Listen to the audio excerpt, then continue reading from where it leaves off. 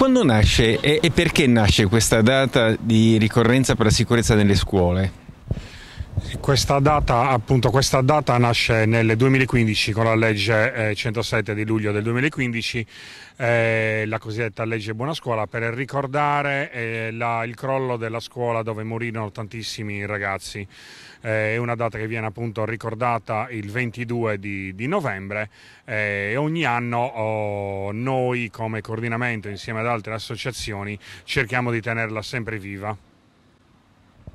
Ecco, chiaramente non riguarda, immagino, eh, la sicurezza soltanto dal punto di vista strutturale, ma anche dal punto di vista ambientale, eh, d'ecoambiente, quindi una situazione di vivibilità eh, al di là delle mura eh, della struttura stessa.